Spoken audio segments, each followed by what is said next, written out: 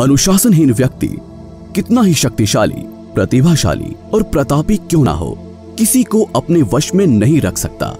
उन्नति के इच्छुक व्यक्ति के लिए आत्मानुशासन उतना ही आवश्यक है, जितना समुद्र के लिए मर्यादा।